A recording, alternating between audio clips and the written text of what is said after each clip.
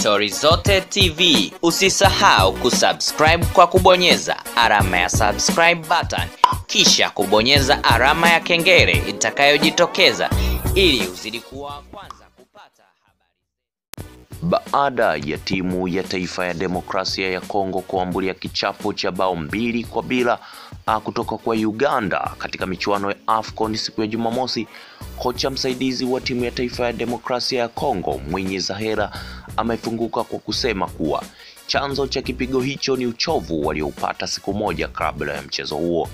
Kikosi hicho cha demokrasia ya Kongo ambacho kimejaa mastaa wakubwa kimejikuta kikichezea kichapo hicho katika mchezo wao wa kwanza kabisa wa kundi A katika michuano ya kombe la mataifa Afrika maarufu kama AFCON 2019 inayoendelea nchini Misri, huku mashabiki wengi wakiwa hawategemei kuyaona matokeo kama hayo au walioyapata katika mchezo huo. Moja ya mabao ambayo yalifungwa na timu ya taifa ya Uganda ani goli moja ambalo lilifungwa na Emmanuel Okwi ambaye ni mchezaji wa klabu ya soka ya Simba. Amekutana na Zaera mara kadhaa katika majukumu ya ngazi ya klabu ah, kwa kuwa mwenye Zaera ndiye kocha mkuu wa klabu ya soka ya Yanga ambayo inashiriki ligi kuu ah, Tanzania bara pamoja na klabu ya soka ya Simba ambayo a, Emmanuel Okwi anaichezea.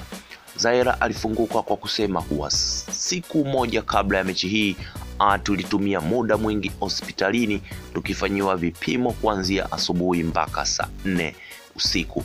Haikuwa sahihi kabisa, waandaaji wamekosea sana.